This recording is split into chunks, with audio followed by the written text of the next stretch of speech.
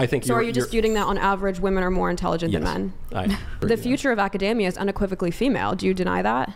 I agree that the future of academia is bleak. and do you think you would come to regret doing the Not Only- me, OnlyFans? but I think some people would. you don't think there's a chance you'll come to regret it? No. But based off the stats, it would seem the religious men are less inclined to virtue. No, they're not watching that's that's porn ri- and buying sex. That's ridiculous. You're, Welcome back to Rattlesnake TV, guys. In this video, we're going to be watching Michael Knowles take three feminists who have a pen and paper in front of them to show that they mean business to school in the best way possible. You see, Smooth Mickey, as I call him, is a man of taste and class, and a man that is pleasant in debate, but also unwavering in his beliefs. And what's more is that he always ends up winning people over and making them like him especially the ladies, because he is Smooth Mickey after all. Smooth Mickey. Let's get into it. What is feminism? Um, I think the the most common definition is the social, political, and economic equality between the sexes. So, according to that definition, I would definitely identify as a feminist. Okay.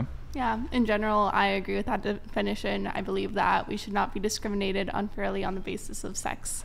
If I had to add any addition to feminism, I would agree with all that, and then I would also add on just kind of adding more cultural currency to just female spaces, women's interests, and just women's proclivities in general. I actually think feminism does the opposite of that in practice. And frankly, going all the way back to the beginning of feminism in the 18th century, probably my definition of feminism would be Gloria Steinem's definition. She was the very famous feminist of the second wave, uh, which is that a woman needs a man like a fish needs a bicycle. Feminism is the idea that men and women are not complementary, they're not different and helpful to one another, but they're identical and indiscernible. That there, you know, there are some superficial differences. You ladies might be a little prettier perhaps than I am, but all in all, we're basically exactly the same. And I, I don't think that's true. I think it's a false view of human nature, and I think it's harmful to everybody and especially harmful to women. Right. I've worked with Gloria Steinem's company, Women's Media Center, for like four years back My in college. condolences. And obviously, that's like a more crass interpretation of, I think, what she meant by that, which I think is more so. She's more so um, characterizing the fact that women in general, when they're taught how to self actualize, it's typically tied to contingency on a man and getting married and starting a family, versus men, when they're told um, the ways to self actualize, it doesn't necessarily require a woman. So obviously, her saying a woman needs a man the way a fish needs a bicycle sounds crass and like she's being a bit, bit misandrous. And obviously, some radical interpretations may take it that way. But I think what she's trying to say is that women, you can like define yourself and your career and your potential outside of simply marriage and children. What do you mean by the phrase self actualize? Um, just like live up to your potential, you know, use your rational faculties, you know, use the design of your potential in your brain. I agree that I want to live up to my highest potential. I want women to live up to their highest potential. I want total human flourishing. But I think you've given away the game on the radical and liberal foundation of feminism, which is the notion that it comes purely from the self. It's a matter of self liberation that, that I can do totally self sufficiently as if I were an island unto myself. But no man is an island unto himself. And so I didn't make myself. I uh, didn't create the family that I was born into. I didn't create the community that I was born into, the country that I was born into. I, I take the opposite view of the liberal view. The liberals say that man is fundamentally an individual. The conservatives would say, no, man is a social creature. You know, man is a political animal. And so the irony, I think, of someone like a Gloria Steinem saying that we, we or insinuating that we just want women to live up to their fullest potential is that the, the way that she and the feminists have done it is to totally erase women. Mm-hmm. And I think this goes back way further than the second wave. You sometimes hear conservatives, the squishy kind, they say, "We love the feminism, but only the you know the second wave, not the third wave, or we like the first wave, not the second, or whatever." We're on like the tenth wave now, but it's been a problem from the beginning. Even Mary Wollstonecraft, who who founds feminism with the vindication of the rights of woman, uh, she writes that uh, Providence has created men in such a way that they are um, more inclined to virtue and they're more endowed with virtue. And I think that's exactly what Gloria Steinem thinks, because the, the way that second wave feminism actually was practiced was it denied the virtues particular to women, and it said the only way to be virtuous and to flourish is to be a man. So if women want to be virtuous and flourish, they got to dress like men, and they got to have the same attitudes towards sex as men, and they got to work in the workplace exactly as men do, and they just have to pretend to be men. But I think that's very uh, disrespectful to women and harmful to them because if a woman tries to be a man, she's always going to fail. Just look at the Penn swim team now when, when the men compete against the women swimmers and, and defeat them. This is why some feminists wisely are turning against the transgender ideology.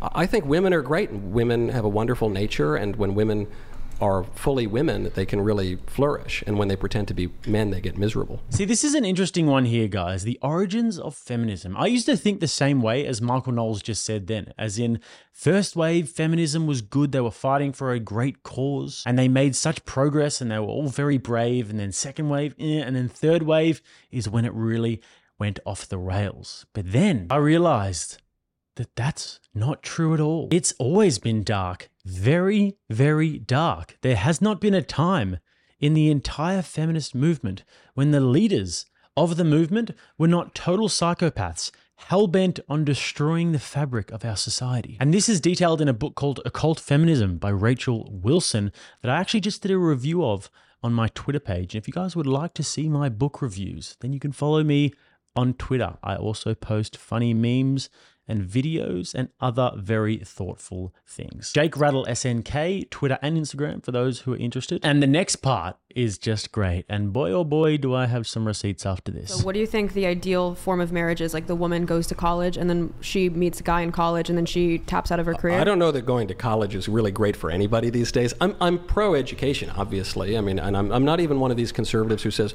you know, you should all just study engineering or whatever. You know, I think that's bunk. I think you should read old books and, and uh, acculturate yourself. Uh, but I don't think most colleges accomplish this these days, inc- including the really fancy colleges, Harvard, Yale, Princeton. I don't know that maybe you can get an education there. I'm not totally convinced you can. And so, uh, yeah, I get women should be educated, but you know, frankly, these days you send your kids to a homeschool co-op, they'll start learning Latin in the third grade. Uh, you send your kids on the track to go to Yale or Harvard, and they're probably not going to know anything by the time they graduate. Uh, so, yeah, I, I would love my wife to be educated. My wife is extremely educated, and I would love my wife to be a wife and a mother. And I guess the, the image that I think of for marriage is not as, you know, the, the modern way of talking about it, where you say, this is my partner. It sounds like a gay accounting firm, you know. This is oh, this is my total indistinguishable partner. No, I want a wife, man, you know, and I want a mother for my children. I want to be a father, and that in- involves different roles, and that involves complementarity. Um, Well, that's what I'm asking. So, are you saying that like maybe they'll get educated outside of college, reading books or whatever, and then after that they should focus like at age 23, 24, getting married, and then not pursuing a career Yeah, I and mean- focus on family life? Yeah, I'm not going to prescribe exactly at what age people ought to get married. They ought, certainly ought to get married younger. I wish I'd gotten married younger. Uh, but uh, yeah, I don't. Uh, But you prescribe that they uh, focus on a career with precedence. Generally speaking, I think women will be less happy if they are going to the widget factory to work for Mr. McGillicuddy so that they can make money that I will I will then receive from my wife to pay some other woman to raise our children. I think that's an extremely inefficient and disordered way to have a marriage, and I don't think it makes anybody particularly happy. I guess it confuses me coming from a tradcon because you guys believe in the design of a lot of things. You believe in like the design of sex and what's like the most optimal use of sex. Why did God Like give us sex? of- so like yes, and you would say yeah. like the end of sex would be to pair bond and reproduce. So if women were not meant to pursue careers, why would God, according to your Christian purview, you're Christian, right? Yeah. Like equip us with so many rational rational faculties. Like why are women so good at like aerospace engineering, nanotech, uh, pediatrics, I don't know if I'd say they're so psychiatry? good at aerospace engineering. Why are women? Why are women there's a few scoring higher there, than you know. guys in I'm every saying, subject. why is Yeah, that they're not totally represented in these fields. my question uh, is sure. if tradcons use god as like the their purview for you know what i mean use our faculties as the metric Well, you for don't what even we have should to be, be pursuing about this. why is it that women are now outgrad- outgraduating men like basically two to one but then you guys Because are the colleges prescribing are total nonsense now, and they have a bunch of fake majors, and it's a scam. Is law a fake major? Because this is now we have more female first year associates. right, than it- yeah, and law school is largely a scam I guess too, my- and you've got a glut of lawyers. well my question is jobs. why would god equip us with these things these faculties if god did not want us as women to pursue these faculties and instead abandon it at first step for marriage and kids The premise of your question is that raising children and running a family and the domestic economy is not a rational activity. It's not that it's a rational activity, but Why why equip give us to be so good at STEM and college What and all these more? pursuits? What could be No, more no, no. important than raising a, I'm a not family? saying. I'm saying why give women the ability to both have a child and still be able to read like intellectual texts or To educate the to look child. at aerospace engineer. Well, that's the thing. You can Wait, educate to your raise your kid child, to be an aerospace engineer, I Wait, guess, wait. if but you're you really can't be an aerospace engineer yourself. Women can if they like. They generally don't do that. No, I'm asking. So is that your position that God equipped women to be as good at STEM to outgraduate men, all to just Yeah, pursue they're not. homeschooling you know, for if you their look children? at like Fields Medal recipients, uh, Larry Summers got fired from Harvard for, for pointing this out. But uh, this is the top prize in mathematics. Uh, until about 10 years ago, no woman had ever won the prize, and now I think one woman has won it. And I'm not knocking, I, there are plenty of women who are much more intelligent than me. The reason Larry Summers, who's a, as far as social scientists goes, is a very respected one, and he's a big lib, but uh, he pointed out that the reason why men tend to dominate in the, the uh, highest intellectual fields uh, is because not because men are simply smarter than women, but because the bell curve of intelligence for men is wider than that of women. So But for a society, isn't it? Isn't it like societies that allow women to work? Even us, if we hadn't had women, we brought in like trillions of dollars to the economy to take out half of the minds in the world. In, in the world, Yeah, I think life the is bell about more than curve, money. the top. I agree, but if you want a flourishing, wealthy society, you can't do that by think we're fl- eliminating women think- from the workforce. I agree that we're wealthier today than we were 50 years ago. I'm not sure that we're flourishing more than we are. I mean, li- we are literally a dying society, right? We haven't had above replacement uh, births since 1971. Would you Yeah, be okay well- with immigration as a way to? that's that's why we have mass migration, but mass migration causes all sorts of social problems, Wait. which is why it's it's deeply Before we pivot, I, I do want to left, pin down your position on this. So yes, the bell curve is wider for men, but on average, the average women are smarter than the average men. Obviously, at the ends of the curves, there's that wouldn't there's that would more unintelligent men and more the high intelligent. The first thing you said that wouldn't wouldn't imply the second, right? If It's the- not if it- implied. That's just the fact. Is the bell curve is um, wider for men? Like there's more Right. So that- so unintelligent that would men and third more you- intelligent men. Are you talking about Guys, if you're enjoying this video, if you like watching Smooth Mickey, if you like these breakdowns, then chuck a big like on the video below. And also, if you haven't subscribed to the channel and if you're getting heaps of value from this video, if sometimes you think this guy's actually not so bad, I'd love to have you. Back to it. about the greater male variability hypothesis? Is that I'm Yeah. saying there's Okay. there's on average women are more intelligent than men, but if you look at the most intelligent people, they're more likely But to be it- men. it- If you look at the least intelligent the people, thing- they're less likely to be men. So I'm asking you from your Christian purview, because if you're a nihilist, you're atheist, you could just be like, oh, that's randomized. Who cares? It doesn't necessarily mean it's best for society. If you're a nihilist, you can't say anything at all, you know, because nothing means anything. Well, that was my point. If you're a nihilist, you could just say those curves should not be indication of how we should live society. But as a Christian, if you think sex is most optimized for certain purposes, you would probably think intelligence is best optimized for certain purposes. So why would God equip the average woman to be smarter than men? Do you think it's just for homeschooling their children? Again, the claim that you made at first, which is that men and women have uh, uh, bell curves, uh, the, the men's bell curve being wider than the woman's, would not imply that the average woman is smarter than the average man. Oh no, no. It would line them the up exactly. The curve right? itself Yeah. d- implies or actually indicates that No, it would on just be the average. extremes. no, right? No. would- If you actually look at the curves at the top, it's women. The women's curve is taller than the men's curve. The the, the but uh, the the IQ of the curve would be on, on the x-axis, right? That's where you get the extremes. So I think So are you disputing that on average women are more intelligent yes, than men? I, as would Larry Summers, as would the people who have studied this. But again, I think it's secondary to the point. The, your, your point is the, My the point more is, interesting why point would of your God equip us yeah, with, why to would be God make so women good at smart? school Yeah, and yeah. STEM? If women on average were doing really, really poorly in STEM and all these, like if men were the one outgrad- outgraduating us two to one, then I can understand from a Christian purview saying like, see, God doesn't want you to be good at school because God wants you to focus on these more domestic pursuits. But how can you look at all this evidence and think that we're, you know what I mean? We're so I- specifically designed by God and then deny that. I think I think you've bought the the big lie of feminism that goes back to Mary Wollstonecraft, which is that men are endowed with greater virtue than women, and I think it's just bunk. You're, No. It's saying the opposite. She's no, saying the you, you're saying what you're saying is that uh, the the most important things to do, the most impressive things to do, the, just the greatest stuff to do, is to do what most men do, which is go out and work some job. No, I didn't even. I didn't even at, like moralize. I didn't even say that STEM and aerospace and all these industries that women are good at or even morally good. I was just saying they happen to be good at these things. So But from a Christian purview, you're the one who would ascribe morality saying, to that. You're saying it's it's better to do that. I think because you're saying from a Christian purview, because you think from No, a no, no. Christian purview, what you're good at is what you should do. So if women are better at childbearing, they should do that. If sex is best used in this specific uh, Yeah, use, well, then you, people should do in, that. In in that uh, n- narrow reading, then I think it's pretty clear most women are better at raising children than building rocket ships. So I think probably most women would prefer that. But e- even more broadly, I think y- you're exalting male professions in a foolish way. I, I think that you're you're. I'm not even hyping them up. I'm just asking you. I think you are hyping them From your theist purview, why would God make women so good at STEM and college and all these pursuits if God just wanted us to tap out as soon as we met a man and Again, just focus I'm on not sure. rearing? Look, women do fine on certain tests, but uh, We're doing great. I, you're doing on great. a lot of tests. Sure. I, Better than you. uh, well, perhaps I don't know. No, I mean, the Uh, future I of- defer to your uh, knowledge of your. the future of academia is unequivocally female. Do you deny that? I agree that the future of academia is bleak. and so if, if, if you think that it implies that women will dominate academia, then you know you said it, not me. But uh, I don't I don't think that the future of anything is female. I think the the future of the human race will be the complementarity of the sexes and marriages and children, or there will be no future of the human Oh. race. The future of academia is bleak. Yes. Yes, it is. Indeed, Smooth Mickey. I mean, this is an obvious reality. The education system is completely crumbling. Uh, Professor Bridges, you said several times, you've used a phrase, I want to make sure I understand what you mean by it.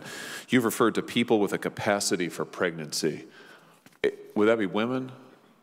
So um, I want to recognize that your line of questioning um, is transphobic, um, and it opens up trans people to violence by not recognizing them. Wow, you're saying that I'm opening up people to violence by asking whether or not women are the folks who can have pregnancy? Do you believe that uh, men can get pregnant? No, I don't think women so you are pregnant. denying that trans people exist? Think- And that leads to violence? Is this how you run your classroom? Are students allowed to question you, or are they also treated like this, where No, no, no, they're they're told that to they're question- a- opening up people to Oh, violence? We have a good time in my class. You should join. Oh, I bet. You might learn a lot. It's controlled by ideology and also financial interests. It is a bloated bureaucracy that is giving out useless degrees with reckless abandon. And for me, online education is obviously the future because you now have startups that are actually becoming certified whose mission it is to give as much value as possible in the shortest time frame possible. And this in itself is a jarring innovation when it comes to the world of education because it takes away the monopoly from traditional educational institutes whose business model when it comes to the more useless degrees is to keep you in this institution for as long as they possibly can to teach you absolutely nothing. But that aside, the most interesting part of that entire exchange for me was learning that God made women so darn good at aerospace engineering and STEM fields in general, that being science, technology, engineering, and mathematics. Now, that would imply, obviously, that women are not only good at these fields, but they're better than men. And this is just demonstrably true in these industries. And this is actually God's plan, and that women should be building all of the rockets and doing the science stuff. Well, luckily for her, this is very, very well documented, and you can actually quite easily go and look up the highest ranking people in the world in these fields based on publications and citations. So let's have a look at the data and we will stick to modern day data and people who are alive at the moment and not look at the historical data because obviously the patriarchy was holding women down and now that they're free, they're dominating these fields. So let's check it out. Well, duh. We'll start with mechanical and aerospace engineering scientists, which she obviously said that women are just so good at. Uh, okay, first few Ted, John, Thomas, Ibrahim, Mosen. Two, two, two, two, two. Women are coming, guys. Just give me one second. It's probably just a coincidence so far. Tayfun, Davud, Adrian, Robert, Mark, Allen. They're going to be here somewhere, guys. Just give me a second. Yeah, it's the top 50. So hold on, guys. Let me.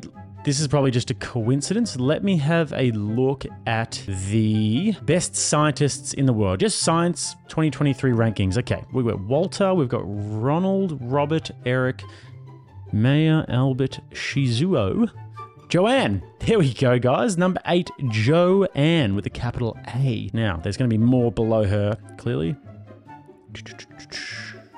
George, John, Salim, Trevor, Paul, Ralph, Robert, Pierre. Just, there's going to be more here, guys, somewhere. Okay, that's the top 50 for that one. Now, gotten unlucky so far, guys, but the data is going to bear out what she said. Now, let's look at mathematics scientists, okay? Gilbert, Stanley, Barry. Okay, uh, this is not looking great for her little prognostication there. Okay, top 40. Uh, Arabi, Dimitri, Herbert, Emmanuel, Avi, and Z. Now, there might be a lot of women in these fields in the universities because of, you know, progressivism and what have you. But I think the data is pretty crystal clear with who is excelling in these fields and who is building all of the stuff and doing all of the sciencing. I just went through 150 names and we found one female. On to the next section where they discuss the R18 plus matters. It doesn't seem like religion is a compelling antidote against the vices that you deem to be oppressive. I'm not- if in these yeah. states that have the highest populations of religious people, your type of religion, Christian, why is it that they're indulging in these vices more disproportionately than liberals? Well, again, you know, I love my Protestant friends, but some of them take a looser view of sexual morality than the Catholics do. The Catholics still have a very rigid view. So I think you're making a little bit of an apples I'm and oranges conflating it too comparison. Yeah, and but but furthermore, e- uh, to quote La Rochefoucauld again, hypocrisy is the tribute vice pays to virtue, and and religion is a public thing.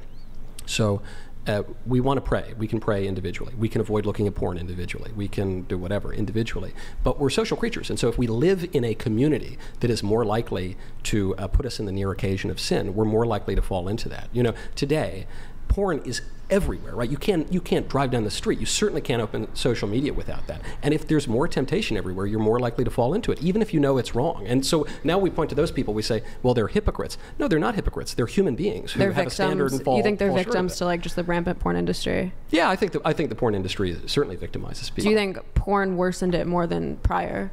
Like, do you Oh, kind of for sure, blame the yeah. porn industry? Yeah, I think porn what are industry is awful and should be Wait, wiped off can, the face of the can earth. we yeah. talk about what consequences you're seeing since the proliferation of porn that makes society so much worse? Like, yeah, totally. Yeah. Well, you see, uh, I mean, you know, again, to go back to all those studies, you see a big spike in sexual aggression. You see a big spike in. Wait, wait. No, crime is down since the since porn. since What early 2000s? Crime Rape. is way down. Yeah. Well, okay, just I mean, and And rape is way domestic down. violence. Yeah, and I- abortion is way down. Yeah. Seems like abortion. No, abor- from the from the early 2000s. Yeah. Abortion is unfortunately slightly up even after the, the Dobbs decision, though if you go into the state by state data, babies still have been saved and it's somewhat complicated. But since porn became widely available, where what what's worse? Because Oh, it's if, not oh you're, violence. you're, so what you're saying is because there's porn now, people are getting married less, they're having fewer babies, they're no, no, getting no. pregnant I'm less, not even and maybe they're having causation. fewer I'm just saying if porn just made society just is so catastrophic, what are the outcomes you're seeing? Because So it's ju- not violence. Yeah, just, Well, I think you would say porn is bad in, as, as an end in itself, right? Yeah, it's intrinsically Yeah. evil, but but also if you're interested in some you know studies or something,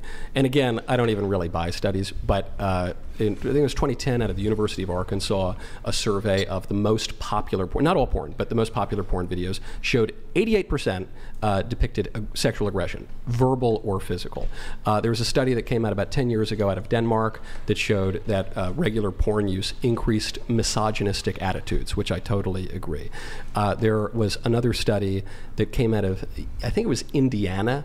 Uh, a few years ago, which showed that regular porn consumption was correlated with uh, sexual aggressiveness in both men and women, which I don't think is a very good thing. And then there was another study, I forget which state it came out of, in like 2015 or 2019, which showed that uh, porn use and uh, sexual interactions online for, for women were a reliable predictor of in real life sexual violence committed against them. So again, I, I grant you that you know Yeah, there's a uh, bunch of you've got your studies in the studies, I've got opposite my studies, direction, yeah. but there, if you, in as much as you do believe the social scientific Mm-hmm. data, there is a lot of evidence that porn has had disastrous consequences. you- do you think you would come to regret doing the not Only- me, OnlyFans? but I think some people would. you don't think there's a chance you'll come to regret it? no. What? Why would I regret it? If, say, you, you wanted to get married and have kids, and you found it harder to I don't think so because I think that I typically like men. Like for instance, I always tell this story. Like before, I didn't have any social media before I started OnlyFans, and I didn't have. And like one guy I was on a date with was like, "Oh, I love that because you're not showing off your body." I just ghosted him. Like I just I don't like mm. men like that. I like men that are have similar values to me, where they don't correlate sec- modesty with morality, and that they don't really care. Do you think that guys who like look at a lot of porn and are very pro porn and st- do you think they tend to make better or worse husbands? Well, we know that the ones that Yeah. actually have issues with porn, the biggest predictor of that is moral incongruence. So Catholics should not watch porn. It seems to have really negative impacts on your marriages and lives. But if you're not Catholic and you don't have negative attitudes towards porn, you are way less likely to have issues with it. Do you think that if you watch porn a lot, Mm-hmm. you're really into it, you're more or less likely to um, step out on your marriage? I don't know if there's any data on Well, that. Well, you said a lot, so you're adding kind of like an No, addiction. upwards data of, upwards of ninety percent of men watch porn. I don't know if men who watch porn are more likely to cheat. I haven't seen anything to indicate that, nor would that even be my. The social scientific data that I've seen would suggest that uh, regular porn use is associated with all sorts of vices and pathologies, and uh, including infidel- marital infidelity. And so that would be one thing you wouldn't want. You wouldn't want your husband sleeping around with other women. I don't mind if he watches porn, and I think a lot of women don't. But if, if what I'm saying is, if watching porn Mm-hmm. made him less virtuous, and you know, even just the fact that you're trying to cook for the kids, right, and you're trying to, I don't know, you're trying to do something, and he's just in the bedroom somewhere, selfishly doing something that's kind of shameful, and you don't brag about it, even if you're uh, I watch porn. What am I supposed? I'm supposed to tell him you don't do it, and I'll do it. Yeah. Well, no, you, sh- you neither of you should do it. Neither of you should I do want it. that clipped. so she likes men who watch porn. And even before social media, she also liked those guys. And she never had any interests in these sort of guys that like a humble woman who doesn't sort of put her naked body on the internet.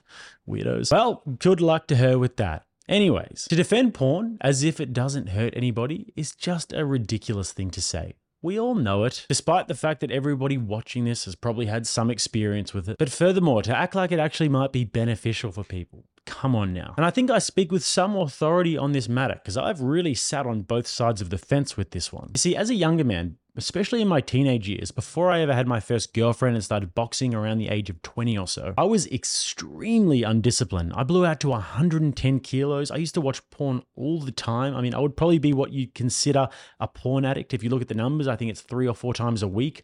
If you watch porn, you're considered a porn addict. And that was the case for a number of years. But growing up in a secular society and not having a fully formed brain as a young man, I never really stopped to think how this might be affecting my neurochemistry, my dopamine levels, my perception of sex fundamentally, my sexual function, my future relationships. I mean, even something so fundamental as seeing a woman naked. Before the internet and before the modern degeneracy, you couldn't just go online and just type in anything you wanted and see thousands of naked women and have them doing whatever pleases your sexual, lustful desires. But now you can. And if you do that all the time, then when you see a naked woman in real life, I mean, maybe it's a little bit better, but it's like, eh. Whereas it should be novel and exciting, and you should feel that. You should project that onto the person who you're seeing naked if it is a loving relationship. So, in those parts of my life when I was younger, I never really thought about this stuff. I just thought I have these urges, feel it all the time, young, red blooded testosterone fueled male, and I can open up my computer and I can satisfy that urge in the moment. Or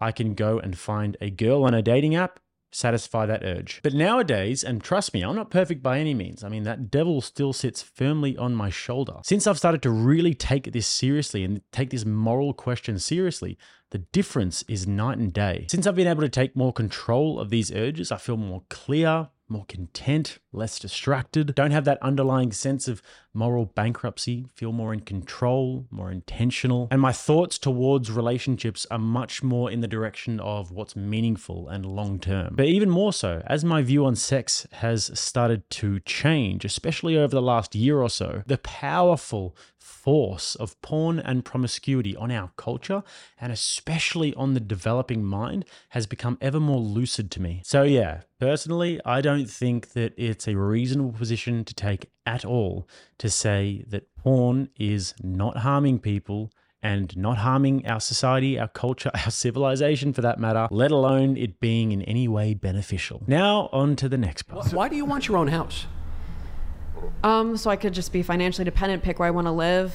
Even even if you're married? Um, yeah, like I would probably buy a house before pursuing dating for marriage. Yeah. So what if, and then he would have his own house and you'd I guess from there we would figure it out. From there, if we wanted to sell the house or both live in the house, like I'd be fine moving a guy into my house. Yeah. but and you would still own the house or you'd split the house with him or he or you'd transfer it to him. I, I wouldn't transfer it to him. It would be my house for sure. You would have separate finances. Uh, I don't know about that, but in terms of like where I want to live, I'm 100% picking that on my own and getting my own house. Okay. But, uh, but So if the man comes and so your bank accounts would go together, but you'd keep the house in your name. Um, if we're married, I guess we'd figure it out as we go. But I'd probably like date someone and then I don't know. I just don't want to be dependent. I don't want to like. You don't want to be dependent. So uh, that right, exactly. You don't want to be dependent. So why get married? Why get married? Yeah, I, I could be independent. It'd be I could live on my own. I mm. could hire a maid. I could hire a cook. I could just whatever you know. I don't want to be independent. I want to be dependent on my wife. I love my wife. I want to make a vow that I'm going to stay with my wife forever and have a nice big family. And I don't want to be separated at all. I want to be one flesh with my wife. If I didn't want to do that, if I wanted to just be on my own but have someone to mitigate the loneliness and occasionally sleep with, why get married at all? I, I do want to get married. I am gonna eventually date to marry. I think like my goal is to eventually start dating in like a year, date in under three months, get engaged, get married. I don't want to do the like multi-year Yeah, okay, dating that's and good. like cohabitating before. I think that's a joke. I think it's a waste it. of time. But why- I'm but also why do it? I'm also cognizant of the fact that men today are a joke, and there's a one in four chance that your husband's going to commit infidelity. And I don't believe in necessarily like There pursuing are things the you can do to mitigate those stats, though. Mitigating infidelity for, Yeah. on my husband's part. What? You Being a can- fucking blow doll for him. Y- y- no, no, I wouldn't recommend that either. Uh, uh, no, uh, the things you could do are is marry men who, for instance, don't recognize the sacramental reality of divorce. Just to Become use one example, That's He's not what saying I said. a I said infidelity. or or who recognize that infidelity is Every uh, man I've ever mortal sin. dated has been Christian conservative, and at least one of them, I found an Oculus in his closet where he's watching VR porn. In my experience, like I said, at the macro level, it's usually these Christian conservatives who are the most porn addicted, and at a micro level, these men I'm dating. got a You, lot you of date a lot of these OnlyFans. Christian conservatives. Well, There's I'm- something about them that attracts you. Well, I'm waiting till marriage.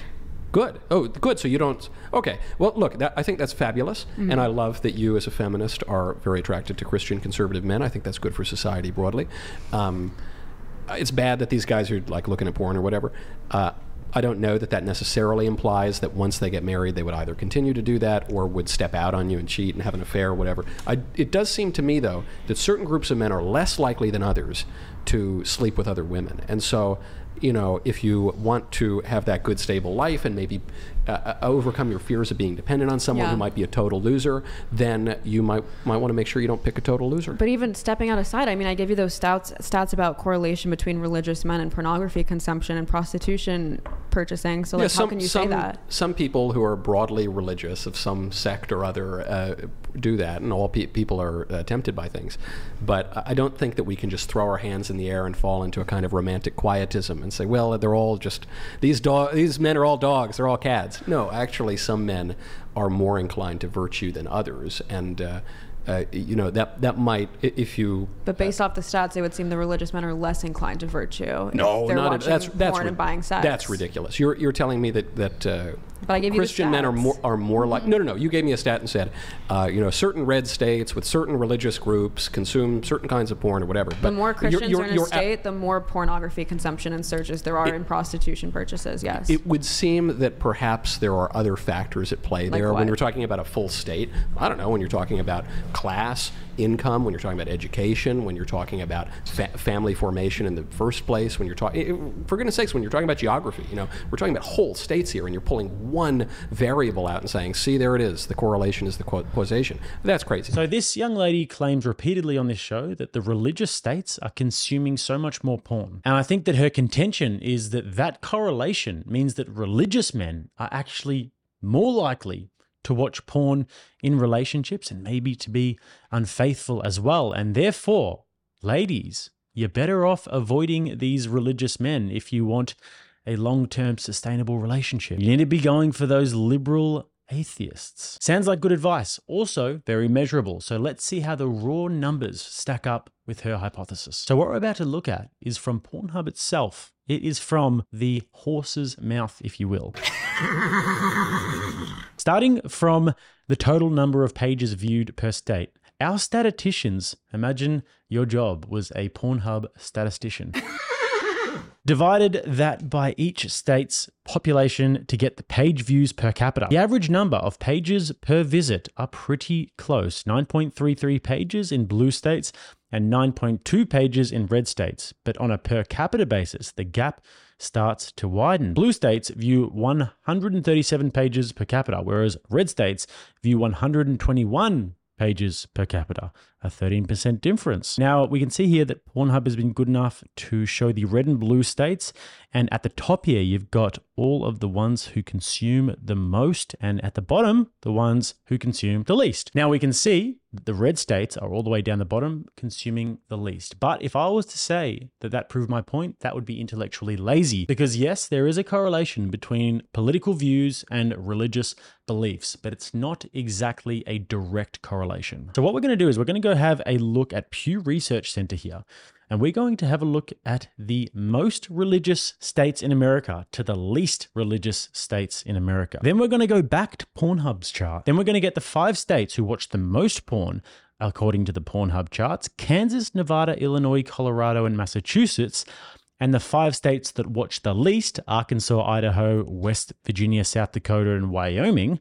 And we are going to do a little test to see how religious they are. We're going to take each of these states and give them a score depending on where they fit in the most to least religious chart. We're going to add them all up and see how it goes. So, of the five states that are the highest in porn consumption, you have Kansas, which is number 19 on the most religious. You have Nevada, which is number 35, Illinois, number 33, Colorado, number 41, Massachusetts number 50. That in total equals to 178. Now for the five states with the least most consumption. We've got Arkansas number 5, Idaho 33, West Virginia number 7, South Dakota 16, Wyoming 22, equaling up to just 83. Now, obviously, the fact that I arrived at a much higher number when it comes to the top five porn consuming states in America means that these states rank way lower on religious beliefs. In fact, the number was more than double. So these numbers directly and emphatically prove that the theory that the places where the most religious people reside are definitely not the ones watching the most porn. And ladies, if you're young and single out there on the dating market, I would seriously recommend not taking this young lady's advice. And this segues nicely because the other thing that she talked about was the fact that she only dates Christian conservative men who eventually go on to reveal their true colors as VR porn watching degenerates. What the hell are you doing? I'm playing hot, playing football. You ain't playing football. Well, I mean, I do wonder if she's thought about her dating situation from the following perspective. Now, she definitely has some very attractive qualities. I mean, she's obviously physically very beautiful, seems intelligent in the sense that she would probably do well on tests at university, but we know that wisdom doesn't always follow intelligence. She also says that she's a virgin, which for a Christian man is a big green flag. It shows discipline, shows character, and also is a good indicator for a successful long term relationship. But, and it is a big but, she is a liberal feminist. I don't know what her religious beliefs are, but she's definitely not a Christian, so we're going to call her an atheist. And last but not least, she has an OnlyFans where she exposes herself to thousands of horny men online. Now, I know some good young Christian conservative men, ones that are in the dating market looking for somebody to eventually settle down with and have a family, myself included. And I can assure you that a woman can be a 10 out of 10 and can be as virgin as the Mother Mary herself. But if she has those said values, then dating her would be unthinkable. When I'm dating, if I even get so much as a scent of liberal or feminist or atheist, it is an instant disqualifier because we have fundamentally different worldviews. And in a relationship, she has to be able to trust my decision making, my judgment, and ultimately my leadership. So, not saying that there's nobody out there for her. Obviously, she's going to be an attractive candidate to a lot of people, but not Christian conservative men. Find yourself a liberal atheist feminist man. Why would Christian conservative men want to date somebody with values that are antithetical to their own. Why would they want a woman like that raising their children?